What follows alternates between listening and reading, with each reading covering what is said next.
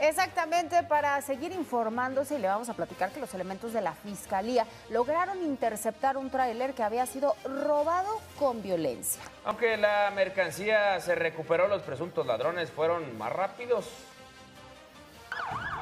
Este tráiler fue perseguido durante varios kilómetros por elementos policíacos. Lo habían robado con violencia cuando ingresaba a la ciudad.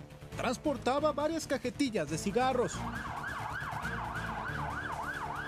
Fueron agentes de la Fiscalía Estatal los que tuvieron que cerrarle el paso al vehículo de carga para poder recuperarlo sobre la calle Cañas al cruce con la calle A, en la colonia Ferrocarril en Guadalajara. Fue esta unidad de la Fiscalía Estatal la que en la persecución se topó de frente al camión de carga, logrando interceptarlo sobre esta vía. Los delincuentes escaparon corriendo, pero la mercancía se logró recuperar en su totalidad.